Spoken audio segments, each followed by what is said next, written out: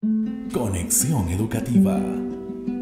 La educación es la herramienta más poderosa del cual dispone todo ser humano para ejercer su libertad y contribuir con el bienestar de la sociedad en general. Solo se requiere un Estado que brinde oportunidad para todos.